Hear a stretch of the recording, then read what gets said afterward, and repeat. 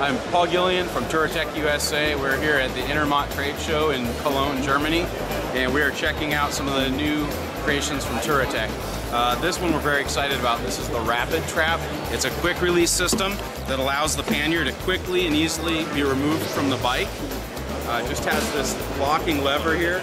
So you simply unlock it and you twist it and it releases a mechanism that allows this to open.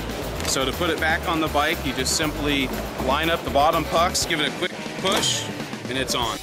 Just like that.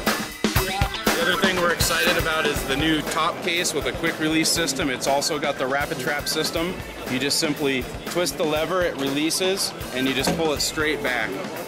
It latches uh, with this rapid trap system, and then the hooks that just nest right onto the uh, tail rack and it's on just like that. So it's going to be very convenient, easy to use for our customers that want to quickly remove the panniers. If you're commuting to work or just doing a quick trip, you can pull them on, on and off very easily.